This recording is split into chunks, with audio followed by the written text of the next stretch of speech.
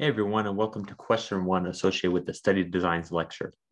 As usual, I recommend you pause the video, attempt the question on your own, and then watch the remainder of the video to see whether you did it correctly.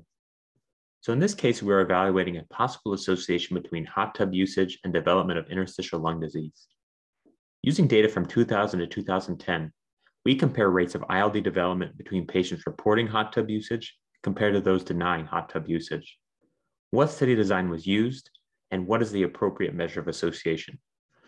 So using the algorithm that we decided upon in the lecture, our first step would be to ask, is our patients being assigned to groups? And in this case, that can't be the case. Patients are not being assigned to groups. We're using data that was already available.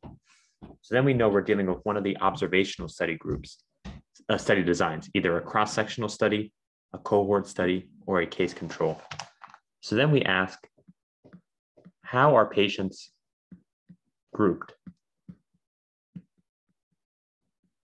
And in this case, we see the two patient groups are those with hot tub usage, so exposure positive, and those without hot tub usage, exposure negative, and we're asking how many develop ILD. So in this case, because we are grouping patients by exposure status, we know that this is a cohort study. And I just want to emphasize the fact that cohort studies can be both uh, prospective and retrospective. In this case, assuming you're watching the video sometime after 2021, um, we're using data from the past. So this is a retrospective study.